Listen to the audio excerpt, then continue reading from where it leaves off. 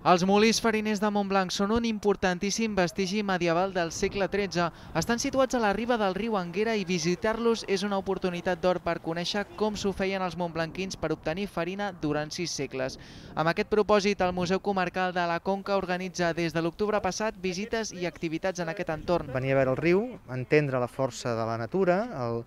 i llavors veure com això s'aprofita per posar en marxa aquests molins fariners. El recorregut comença al Molí Xic, que està ensorrat, per acabar al Molí de la Volta i veure una peça clau de l'alimentació mediterrània al llarg de la història en ple funcionament. El Molí de la Volta, que és el gran, sí que està operatiu, amb la bassa plena d'aigua i amb les turbines preparades. Obrim les comportes, entra l'aigua, es posen en marxa les turbines i es veu doncs, tot com funcionava.